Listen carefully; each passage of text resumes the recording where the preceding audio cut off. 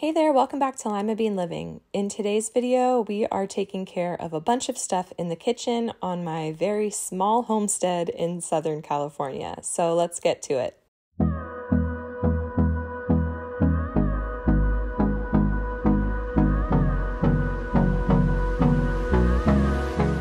So we're going to start by getting some very large ice blocks out of these cups for our chickens. It has been in the hundreds where we live in Southern California and so it is just incredibly hot for the chickens, and their water is out there. It gets really hot, you know, in the afternoon. So, what I've been doing is actually just filling up these plastic, like tumbler cups, or I think that I think they're tumblers. I don't know.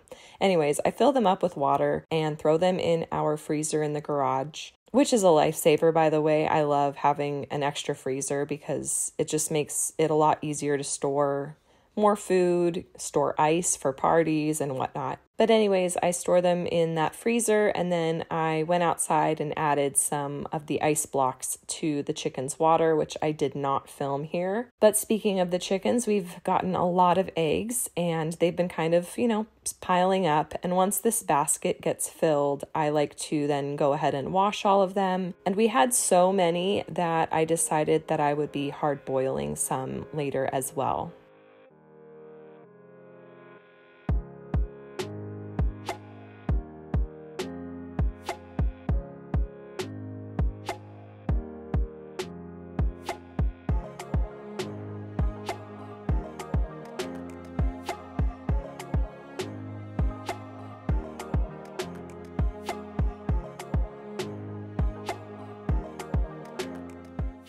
Unfortunately, I did notice a crack in one of the eggs, so instead of eating it ourselves and risking, you know, consuming bad bacteria, I just decided we'd feed it back to the chickens. They don't mind eating their own eggs and, you know, I don't I don't like to waste. So that is what I typically do if a shell is possibly compromised at least for human consumption.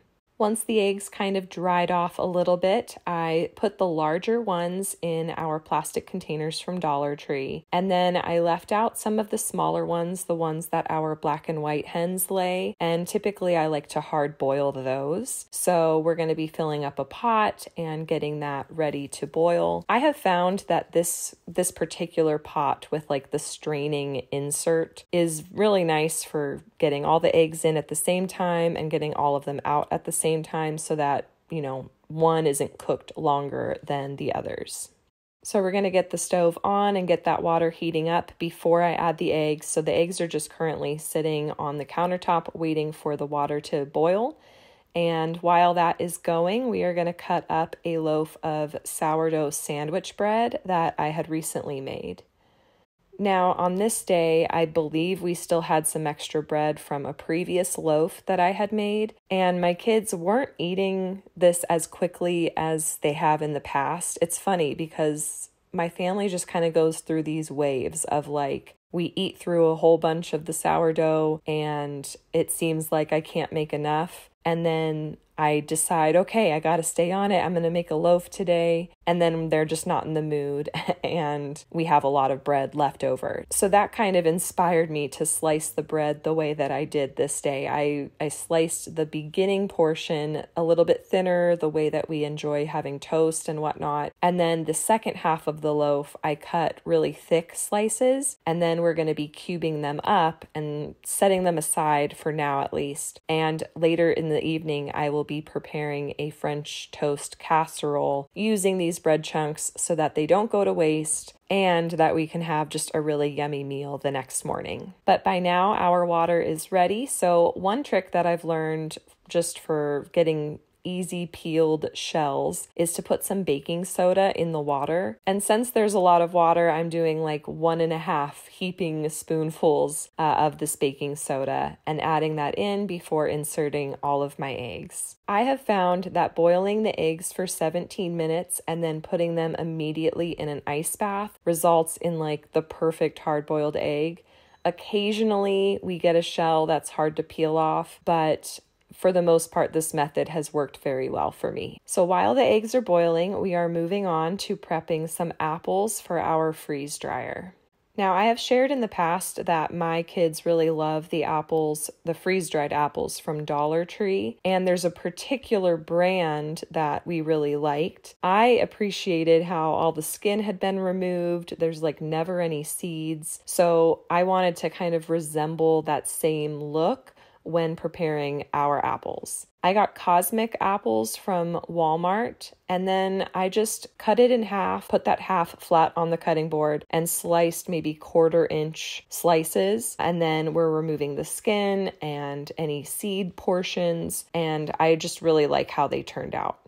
And then one thing I noticed was that I could fit about one apple's worth of slices per tray so that everything was spaced out. It wasn't going to stick to each other and whatnot. But once they were all freeze dried and, you know, bone dry, they could break in half really easily. I actually weighed them out, and it turns out that like half of an apple was the equivalent to one of the Dollar Tree bags. So if you don't take into account the price of the freeze dryer, which they are very expensive and, you know, we're blessed to have been given the opportunity to get one. But if you don't take that into account, then, you know, one of these apples is about a dollar. So one bag's worth from Dollar Tree, it would be 50 cents for us. So in that sense, it is cheaper to do it at home. So I feel good about uh, that decision to stop buying them from Dollar Tree and just make them ourselves.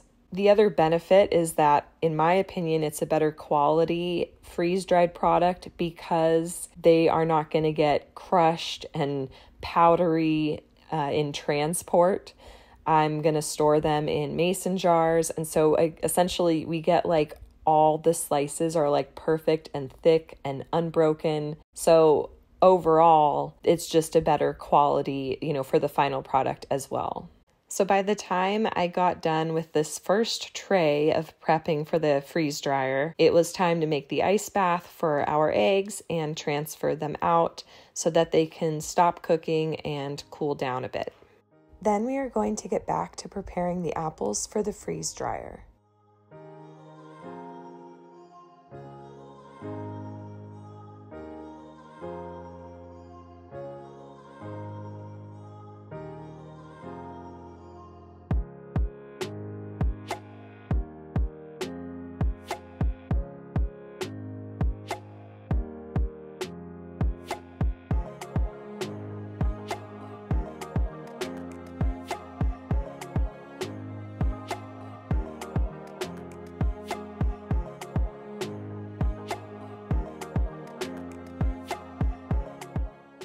But now that my trays are ready, we're going to throw them in the freeze dryer.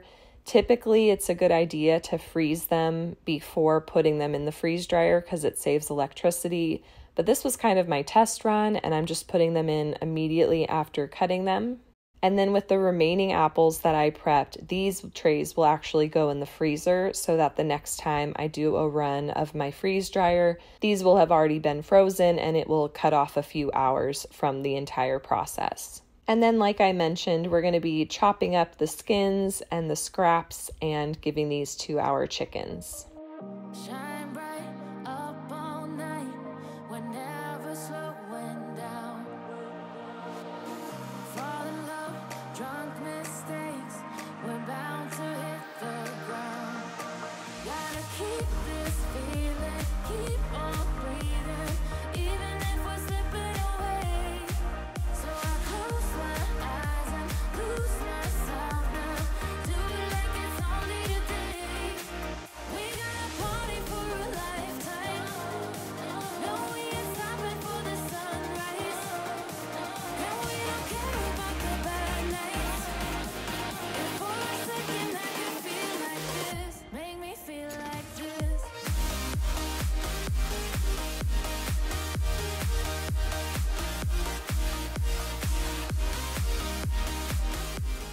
So now that the eggs have cooled down after being boiled, I'm going to go ahead and dry them off and throw them in this container and put it in the fridge where the kids can reach it because I like to have the you know the healthy snacks within their reach whenever they're hungry. But here I just figured I'd show you just how easily these peel and what they look like on the inside as well.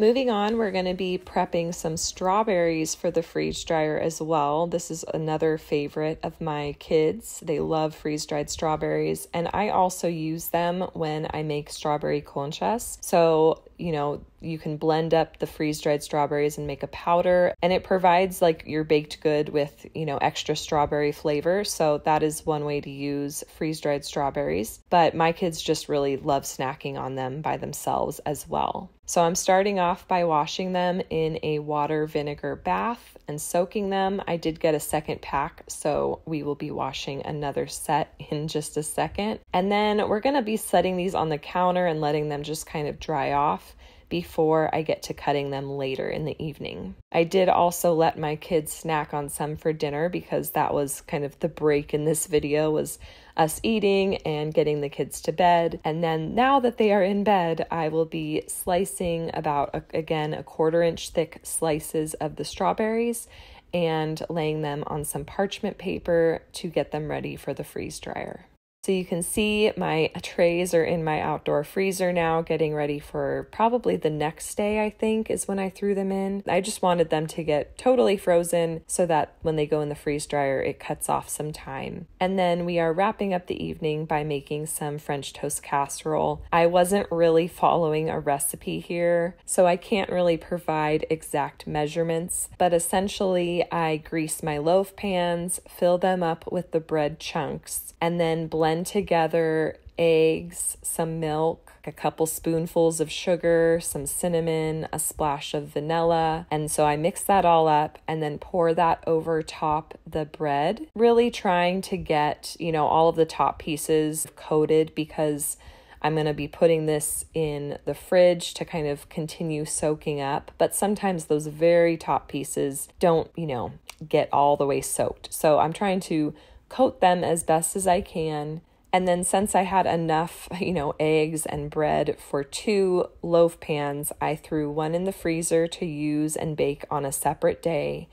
And then the other one I placed in the fridge to then bake the following day. And these will eventually be topped with like a brown sugar cinnamon coating on top, like a crumble, which makes it even more delicious. But we're going to go ahead and check on our freeze drying process uh, as we wrap up this video. I will show you the end results in just a second, but I'd like to thank you guys for watching today's video and supporting my channel. If you enjoyed today's video and it motivated you in some way, or if you just like watching things get done in the kitchen, go ahead and hit that thumbs up button. That really helps my channel out. And if you guys are new here, I would love it if you stick around and subscribe. I take care of all things mom, and I'm really trying to dive into this homestead lifestyle. So if that's something that interests you, go ahead and hit that subscribe button, and I will catch you in the next one.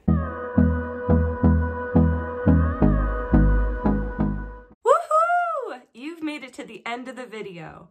If you didn't know already, every Monday and Friday, you can find motherhood and lifestyle content on this channel. And since us moms have to do it all, that may mean yummy recipes, easy DIYs, mom hacks, cleaning and organization, or just a combo of everything. Please know that you are loved and you are made for greatness, and I will catch you in the next one.